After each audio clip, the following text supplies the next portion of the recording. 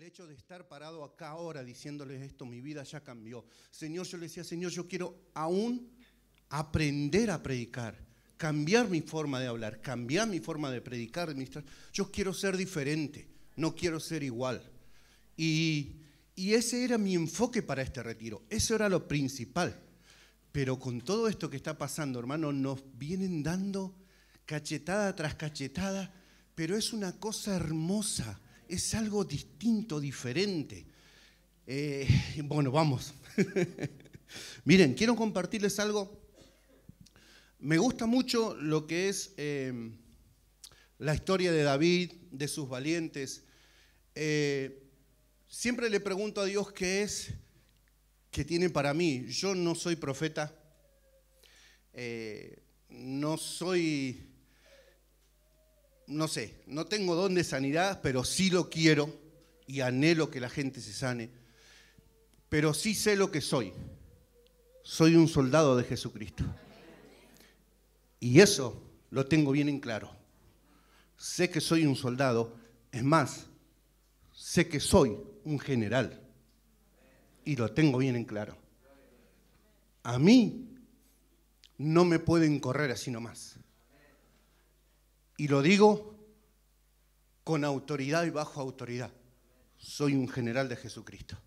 Entonces, estas personas que ahora vamos a hablar son los que marcaron la vida y los que llevaron a David a coronarse rey sobre Israel. En este tiempo vengo con autoridad del cielo a levantar el ejército de Dios. Como general de Jesucristo, como siervo de Dios, como hijo, vengo a levantar. No sé si la última generación del ejército o el último ejército que va a revolucionar el mundo, pero sí vengo a levantar a los soldados que están, que se han olvidado para qué han nacido. Esos soldados que hoy están tristes, amargados, aún enfermos por causa de no ocupar su lugar. Hay enfermedades en nuestro cuerpo que están causadas por no ocupar nuestro lugar, por no hacer lo que tenés que hacer, por no hacer lo que tenemos que hacer. Esto no es un juego, hemos aprendido en este tiempo que es fuego contra fuego. Hemos aprendido que eh, estamos, anoche nos dijeron valientes, nos dijeron esforzados, hay que pelear. Entonces, tenemos que ser un ejército. Miren, una vez vi una película, no me acuerdo quiénes eran, pero bueno, eran unos hombres, unos soldados en la época medieval, ¿sí? Que ellos estaban acostumbrados a pelear y iban con sus caballos y todo. En un momento, ellos deciden renunciar, deciden dejar el lugar donde tenían que pelear. Pero empezó la pelea allá lejos, ¿sí? Empezó la pelea allá lejos. Y empezaron los tambores, lo cual ellos estaban acostumbrados, los tambores de guerra, los tambores en donde el, agite para empezar a pelear y el, el estar ahí preparados y todo. Pero ellos estaban yendo para otro lado, sobre sus caballos. Cuando empiezan los tambores allá a sonar el sonido de guerra, los caballos acá se pararon y no se movieron más. Ellos le decían, vamos, vamos. Los caballos escucharon allá la guerra. Los caballos se pararon y quisieron volver a la guerra. Eso es lo que va a suceder hoy. Los tambores comenzaron a sonar. Y vos sabés que es allá, no es para allá. Eso es lo que va a suceder hoy. Los tambores de guerra comienzan a sonar, comenzaron a sonar. Y vos como soldado de Jesucristo te vas a levantar. Hay algo, hay algo en tu interior que va a empezar a recordar esos sonidos. Así como los caballos sabían en qué parte tenían que estar ellos y qué era eso, de la misma manera, cuando comiences a oír los tambores de Dios, cuando comiences a oír ese sonido de guerra en tu interior, va a empezar a salir, a brotar lo que verdaderamente sos. Hermano, yo estoy creyendo firmemente en que vamos a ver esa gloria mayor. Vamos a verla. No, no vamos a, pasar diciendo, sí, vamos a ver una gloria postrera. no, la vamos a vivir. La vamos a vivir. Vamos a ver cómo los enfermos se van a sanar. Vamos a ver cómo los muertos van a resucitar. Lo vamos a ver. No hay otra manera. Solamente, solamente el Señor lo va a hacer. Solamente firmes y parados. Eh, quiero compartirles en Primera de Crónica 11.10. Quiero mostrarles cómo eran estas personas que dentro de cuando yo, yo nací en una cuna cristiana, nací, dormía eh, en la iglesia Torcuato antes había una casillita, era chiquita. Yo dormía, entrábamos a la iglesia, le voy a dar la espalda, entramos a la iglesia así, era a la derecha el púlpito y a la izquierda. Yo dormía en la izquierda, yo era chiquitito, me llevaban y me, hacían dormir ahí, en el costadito.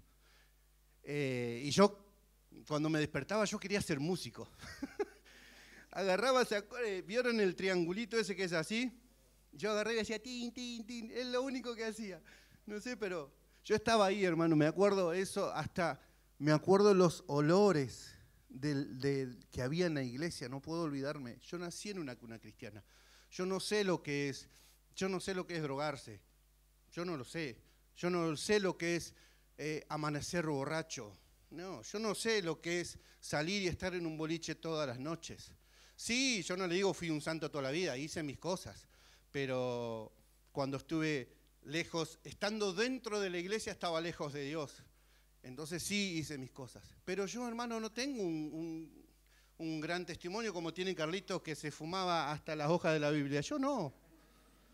Yo lo único malo que hacía era jugar la pelota, mm, por ahí peleaba, o iba y pateaba las bolsas de la basura a los vecinos, nada más, era un salvaje, Dios. O sea, no tenía grandes cosas, yo no, no, pero dentro de mi niñez me crié y leía siempre estos, a estos hombres que marcaron mi vida. Estos hombres fueron los que marcaron mi vida y ahora entiendo por qué. Porque soy un soldado, soy un general, entonces estos hombres marcaron mi vida. ¿Está? ¿No? ¿Tienen para ponerme? Ahí va. Bueno, Primera de Crónicas 11.10. Yo no lo puse acá porque no me entraba, sino todo en el celular. Eh, acá está. Gracias. Miren, dicen, estos son los soldados más sobresalientes de David que le dieron apoyo en su, reinado y que, permiso, ¿eh? y que en unión de todos los israelitas lo hicieron rey conforme a lo que el Señor había anunciado. Hermanos, estos eran personas, soldados pero a su vez tenían una unción impresionante, pero estaban locos. Sinceramente estaban locos. El pastor ayer nombró a uno que fue el que se paró en el campo de lentejas y lo defendió con, su, con la espada en su mano hasta que la espada se le quedó pegada en la mano. Era un campo de lentejas, tampoco era tanto. O sea, no era algo que... Pero era un campo de lentejas, era su campo, era el campo de ellos. Entonces, ella se paró y con, imagínense, hermano, imagínense, una espada, un pedazo de fierro que se, se le quede pegada en la mano. Se queda pegada en su mano. ¿Alguno se quemó alguna vez con algo, con un fierrito caliente o algo? ¿Sí? Duele, es feo, te queda la marca. Bueno, a él se le quedó pegada, se le fundió el hierro en su mano por defender su campo de lentejas. Se, se los voy a ir contando. Hay otro de los valientes que mató a dos leones. Y a uno, a uno lo siguió, se metió en un pozo y lo mató adentro del pozo. O sea, no es que el león lo siguió, no, no, él lo siguió al león, se metió al pozo y lo mató adentro del pozo. Díganme si una persona normal va a hacer eso. No lo hace. Algunos de nosotros vemos un perro y vamos para otro lado. Imagínate si vamos a seguir un león. No, pero esa es, eso es lo que te hace hacer el Señor.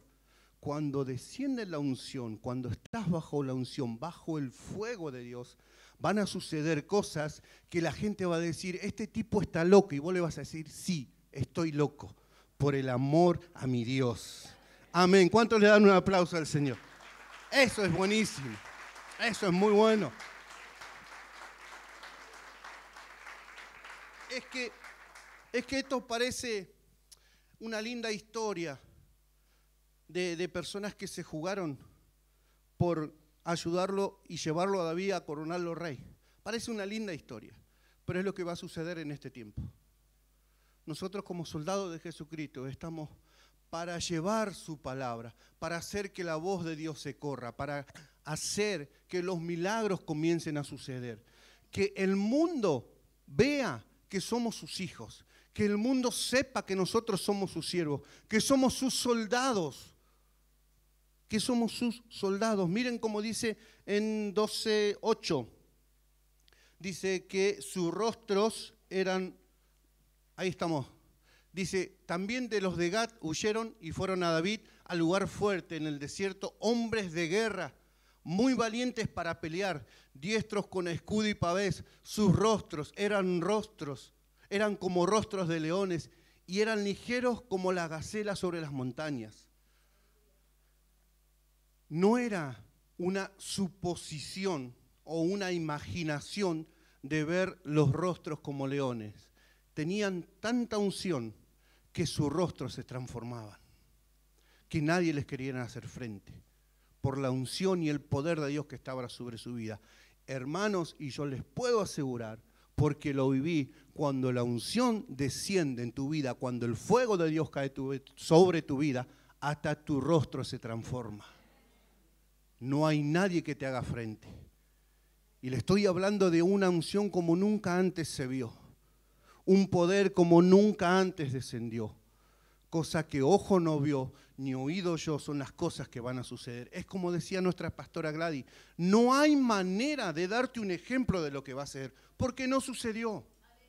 Pero sí creo en que va a ser algo poderoso sí creo en que va a ser algo terrible. Hermanos, hemos vivido y hemos pasado situaciones tremendas para llegar a este lugar, pero tremendas, yo creo que a nadie le fue fácil. Que nadie dijo, bueno, me voy a Río Tercero, cruzó los brazos y lo trajeron los ángeles y lo dejaron acá. No, no sucedió. Jeva estuvo internada. Hermano, yo tenía plata, estaba, pero tranquilísimo. Es más, me podía quedar una semana más si quería acá. Antes de que un mes antes empezó. hace tres años que tengo el auto, nunca se rompió nada. Se rompió, se me fueron casi 60 mil pesos en un solo arreglo. Bueno, cambiamos, cambiamos correa, hicimos todo. Listo, mañana nos vamos. Me llama el pastor, vamos Pablo. No puedo, se me rompió el auto. ¿Cómo sí? Se me rompió el auto. ¿Y qué hago? ¿A dónde voy? No tengo plata. ¿Qué? No sé, hermano, pero toqué una puerta allá, me dijeron, yo no arreglo, andate allá. Voy allá, en 10 minutos me arreglaron el auto. ¿Cuánto es? dos mil pesos, listo, toma. Pero no tenía plata para venir.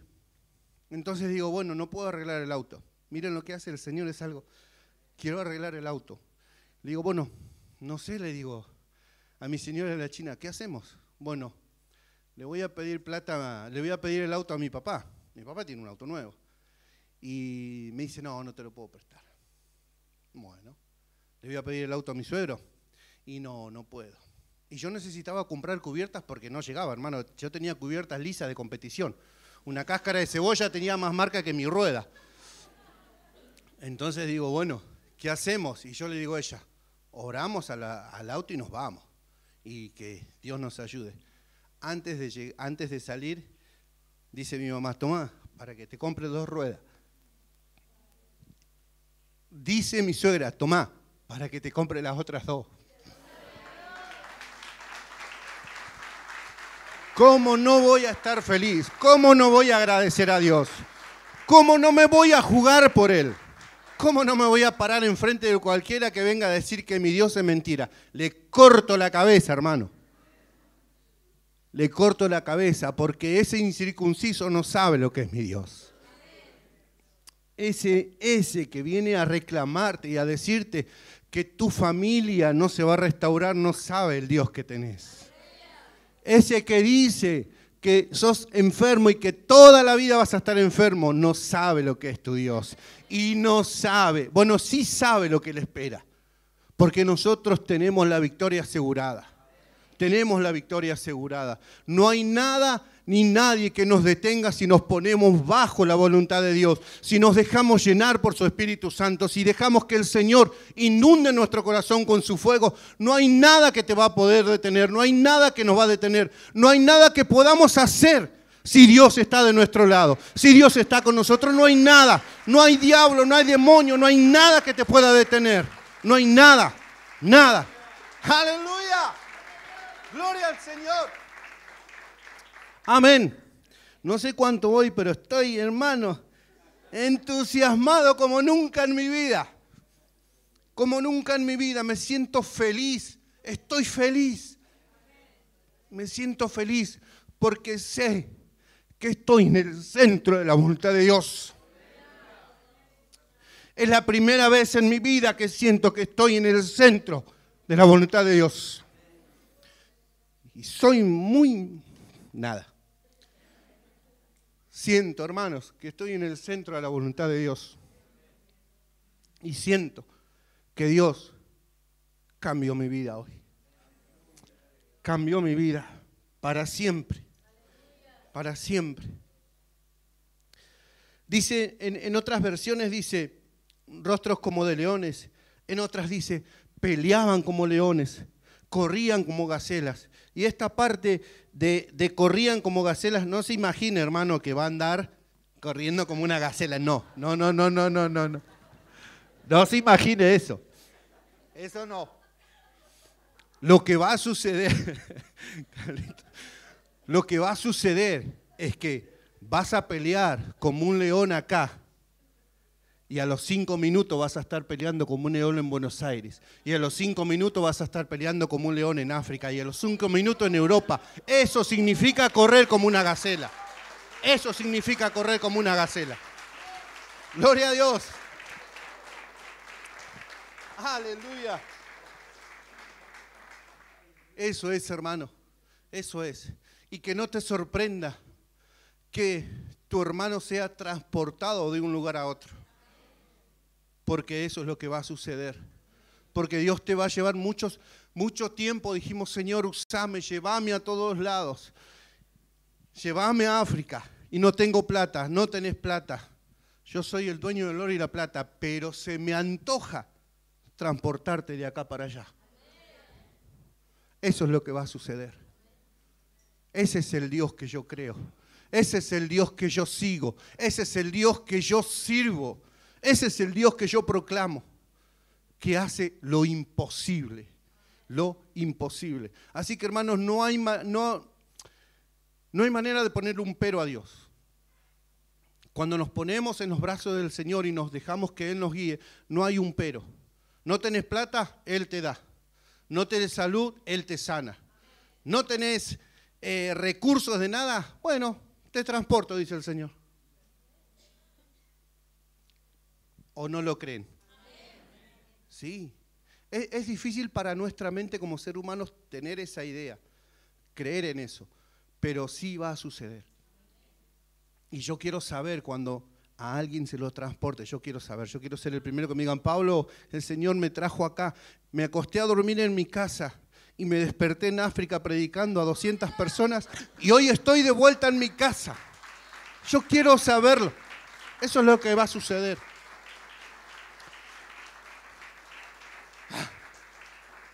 El poder de Dios es tan grande, no solamente para hacer arcos en los pies y emplomar muelas, no, no, es tan grande, tan grande que por vos se puede convertir toda una ciudad.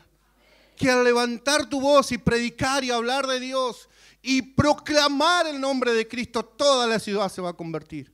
Milagros van a ocurrir, no lo limitemos, no limitemos su poder. Pero me estoy yendo por otro lado, vamos a seguir acá hay otra parte que dice, feroces como leones, ágiles como la gacela. Bueno, no lo voy a imitar de vuelta, pero feroces como leones. Feroces en el sentido de que vas a defender lo que Dios te dio. Feroces porque te vas a plantar en el centro de la voluntad de Dios. Feroces porque vas a estar firme, parado cuando te vengan a atacar. Y te van a tener miedo. Y muchas veces van a ver a tu alrededor personas o ángeles acompañándote que vos no los ves, pero van a estar ahí. hermanos, se viene algo tan grande de, de milagros, de maravillas, como nunca antes sucedió. Tengo la necesidad de repetirlo cada dos segundos. Es, es, es impresionante que podamos comprender, no sé si lo vamos a comprender, pero tampoco imaginar, pero sí tener la fe para poder verlo y recibirlo. Eso sí, que no se caiga tu fe. Seguí teniendo fe en Dios. Y hermanos, y es como yo le dije, mire, hay personas en este lugar que se sienten enfermos, que tienen muchos problemas familiares, que están mal o están pasando problemas económicos. Es porque no estás haciendo lo que Dios te mandó a hacer. Es porque sos un soldado de Jesucristo. Y tenés que estar en este momento peleando. Peleando. Entonces, cuando comiences a caminar, cuando comiences a meterte en lo que Dios quiere que haga con tu vida, te vas a sanar, tu familia se va a restaurar, tu economía va a cambiar, porque vas a estar caminando bajo la voluntad de Dios y haciendo lo que Dios quiere que haga, y haciendo lo que tenés que hacer y lo que para lo que naciste, con el propósito que Dios puso en tu vida. Porque no naciste por una ocurrencia de papá y mamá, no, no. No naciste por eso, naciste y fue Dios quien te puso en este lugar. Fue Dios quien te puso en esta época, porque tenés un propósito y lo tenés que cumplir. Entonces ya no hay más. Así, sacudite, listo, ya está. Nos sacamos la corona de polvo que nos pusieron, nos quitamos esa corona, comenzamos, yo anoté acá, comenzamos a alabar como nos enseñó el, pastor Ernesto, comenzamos a abrir y largar nuestra lengua, nuestra lengua de fuego, comenzamos a orar. Hermanos, es un tiempo glorioso y somos nosotros los que estamos viviendo este tiempo. Depende de nosotros que esto se corra. Así que es tiempo en donde ya está. Hasta acá llegamos. Hermanos, por eso yo le decía al Señor, Señor, este retiro o me cambiás o no vuelvo. Porque yo ya no quiero más esto. Yo sé que vienen cosas grandes, pero yo quiero estar listo. Entonces yo necesito que cambies mi vida, necesito que transforme. Y hermano, yo conozco a Dios, yo sé lo que es la unción, yo, eh, yo sé lo que, lo que dice la Biblia, yo, yo sé, pero yo necesitaba un cambio en mi corazón. Yo necesitaba un cambio en mi vida y yo sé que Dios lo está haciendo. Entonces, pero tenemos que entender y yo vine diciéndole a Dios, yo necesito que me cambies. Hermanos, cuando llegué acá llegué con un dolor en la cintura que no daba más. Mire, manejé hasta Brasil. Yo era colectivero, manejaba 18, 20 horas a veces y no me dolía ni la uña. Ahora me vine a Córdoba, hermano, 6 horas manejando y, parecía un viejo de 90 años, me bajé de la camioneta todo torcido.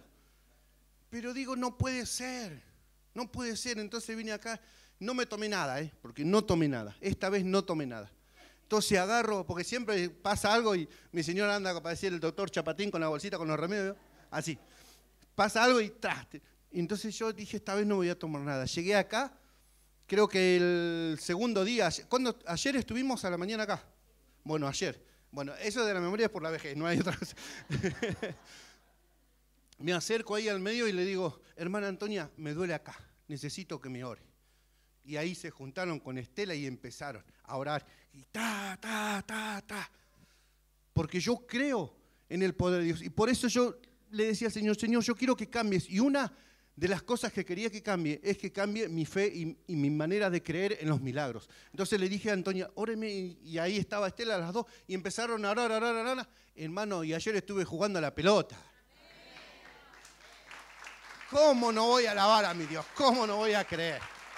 ¿Cómo no voy a creer, hermano? Esas son las cosas que hace Dios. Pero bueno, sigamos. Mire, ahí en... A ver acá. Primero de Corintios, en el 12.38. Bueno, después si le interesa, sigan leyendo los valientes de David. Se van a dar cuenta las cosas que estos hombres hacían. Hay tres soldados de David que solamente escucharon que David dijo, ay, cómo me gustaría tomar agua de ese pozo. Y estos tres locos fueron y buscaron un vaso de agua para David metiéndose entre medio de no sé cuántas personas, cuánto ejército había, cuántos soldados, y se metieron ahí, en el medio se escabulleron y sacaron un poco de agua, porque solamente escucharon que David tenía sed. Así que imagínense a qué nivel de unción y a qué nivel de locura manejaba esta gente. Y nosotros vamos a manejar algo mayor. Eso es tremendo, hermano. Mire lo que dice. Y a, uno, y a unos puso Dios en la iglesia primeramente, a ver, no, 38, eh, perdón, 38. Perdón, es que a veces si no pongo la luz alta, hermano, no veo. Sí, 12.38. ¿Estamos? Bueno, igual acá lo tengo. Dice, todos, todos estos hombres de guerra dispuestos para guerrear, vinieron con corazón perfecto a Hebrón para poner a David por rey sobre todo Israel. Asimismo, todos los demás de Israel estaban de un mismo ánimo para poner a David por rey. A mí acá lo que me llama la atención y lo que quiero enfocar es la palabra guerrear. Miren lo que significa la palabra guerrear. Guerrear dice arreglo, batalla, campamento, combate, conveniente, ejército, escuadrón. Y lo que más me gusta que dice es ser puesto en orden. Esa es una de las definiciones de guerrear. Y ahí me quiero enfocar. En este retiro nos están poniendo en orden. En este retiro, este ejército que está aquí hoy presente vino a ponerse en orden porque llegó el tiempo. Llegó el tiempo. Llegó el tiempo. El ejército de Dios vino a ponerse en orden. Vino a ponerse en orden. Por eso recibimos tantas cosas. Por eso recibimos tantas directivas. Por eso recibimos un tironcito de oreja. Porque nos están poniendo en orden. Porque el tiempo que viene es difícil Sí, vamos a ver una gloria mayor, sí lo vamos a vivir, sí vamos a ver esos milagros, pero también del otro lado, como nos decía el pastor, también van a atacar, también van a hacer. Entonces, en este tiempo vinimos a este retiro a que nos pongan en orden. Hermanos, venimos a que nos acomoden la cabeza, a que nos acomoden el corazón, a que nos acomoden la mente, a que nos acomoden lo que nos faltaban, a que cambien nuestras vidas, a lo que sea. Pero vinimos a que nos pongan en orden. A eso vinimos. Somos un ejército, tal vez el último ejército que esté por levantarse. Entonces necesitábamos este tiempo para que nos pongan en orden. Amén. Miren, hay otra cosita. Miren, entonces busqué palabra, la misma palabra, guerrear en Reina Valera. Y aparece solamente una vez más en la Biblia. Por lo menos acá, eh, no quiero mentir, pero por lo menos acá en lo que yo busqué, aparece una sola vez más. Y es Apocalipsis 19, 9, 19, 19. Y miren lo que dice, y me acordé lo que el pastor nos enseñaba, que decía, nosotros nos estamos preparando, pero del otro lado también. O sea, nosotros vinimos a que nos pongan en orden, pero miren lo que dice. Y vi a la bestia y a los reyes de la tierra y a sus ejércitos reunidos para guerrear. O sea, no es que nosotros solamente nos estamos poniendo en orden y nos, estamos, están transformando y Dios nos está dando directivas y todo. Miren lo que dice ahí. Y a sus ejércitos reunidos para guerrear. O sea que ellos también se están poniendo en orden. Ellos también están recibiendo directivas. Ellos también los están haciendo del otro lado. Pero hay una diferencia, miren, contra el que montaba el caballo y contra su ejército y la bestia fue apresada y con ella el falso profeta que había hecho delante de ella las señales con los cuales había engañado a los que recibieron la marca de la bestia y habían adorado su imagen. Estos dos fueron lanzados vivos dentro de un lago de fuego que arde con azufre. Hermanos, ellos se están preparando, pero nosotros tenemos la victoria. Pero nosotros tenemos la victoria porque seguimos un Dios vivo, un Dios poderoso, un Dios... Gloria a Dios. Ese es mi Dios. Ese es mi Dios. Ese es el Dios a quien yo sigo, a quien yo sirvo. Ese es el Dios. Hermanos, en la Biblia dice que la tierra está esperando la manifestación de los hijos de Dios. Entonces yo hoy vengo a proclamar que no esperen más. Los hijos de Dios ya se están manifestando. Este es el tiempo. Ya no hay más. Ya no hay más. Me duele decirlo, pero es el tiempo en donde Dios ya escogió. Y es lo último que está escogiendo Dios para servirles. Entonces, estamos acá. No me vas a decir que te vas a quedar afuera. No me vas a decir que vas a pelear. Martincho, me ayudas.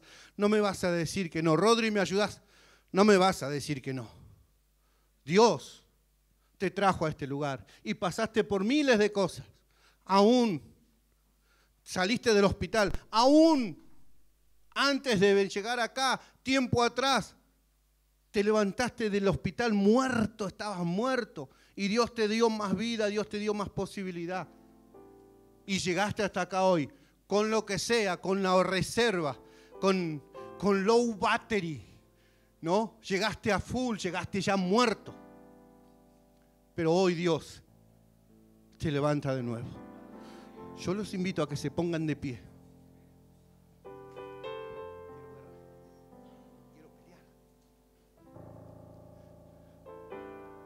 Y vamos a orar.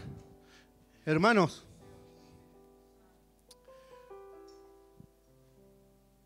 es un tiempo en donde vamos a ver la gloria de Dios. Pero va a ser fuego contra fuego, piña contra piña va a ser esto. Les hablo con lo que sé y con lo que tengo. Les hablo desde mi corazón, con toda mi fuerza. Esto va a ser piña contra piña. Porque somos un ejército de Dios. No somos personas normales. No, no, no. Somos un ejército de Dios. Somos un ejército de Dios que vamos a ir al frente. Vamos a ir al frente. Vamos a ir al frente. Sí, vamos a ir al frente. Hay soldados aquí que se tienen que levantar. Hay soldados que el diablo pensó que los había volteado, pero no. Te hicieron solamente, te hicieron perder tiempo y hoy estás aquí de vuelta. Dios te trajo de vuelta. Hay soldados que, que el diablo quiso matar y está acá. Hay soldados que el diablo tocó tu familia y sin embargo estás acá. Hay soldados a quien el diablo tocó la economía y sin embargo estás acá. Es un tiempo poderoso. Es un tiempo poderoso. Mire, mire, mire, mire, mire. Vamos. Esto es lo que sucede cuando se levanta el ejército de Dios. Esto es lo que sucede. Mire, en su interior ya comenzó a fluir algo nuevo. Algo como nunca antes. Tal vez algo que viviste hace mucho tiempo. Esto es lo que pasa cuando el ejército de Dios comienza a orar. Cuando el ejército de Dios se pone bajo la voluntad del Señor. Así que ahora comencemos a orar y a tirar lo último que queda en pie. Lo último que queda en pie sobre esta ciudad. Vamos, comencemos a levantar la voz. Comencemos a orar como nunca antes lo hiciste. Y si tenés que moverte, movete. Si tenés que agitar la mano, agitala. Si te tenés que arrodillar, arrodillate. Pero esta pelea la ganamos. Vamos, esta es tu pelea, esta es tu batalla. Acá no hay nadie que te pueda ayudar, solamente vos. Vamos, vamos. En el nombre de Jesús. En el nombre de Jesús. Vengo proclamando la victoria. Vengo levantando el ejército de Dios. El ejército del Señor. Como general de Jesucristo. Hablo a corazones hoy para que te levantes en el nombre de Jesús. Oh, Kamamomonda Ramakaya So. Y se. Oh, Mamakandorolo. En el nombre de Jesús. Ahora comienzan a caer las cadenas. Comienzan a romperse las ataduras. En el nombre de Jesús. Las mentes son libres ahora. En el nombre de Jesús. Tu alma es soltada y liberada ahora. En el nombre de Jesús comience a pelear. Intercesores comiencen a pelear. Vamos, sacando su espada. Peleando, peleando. En el nombre de Jesús enfermedades se cortan ahora porque entraste en la voluntad de Dios. Las enfermedades se caen ahora porque entraste en la voluntad de Dios. En el nombre de Jesús. Señor, vengo ondeando tu bandera, Dios. Y levantando el ejército que tú necesitas, Señor. Dios mío. Oh!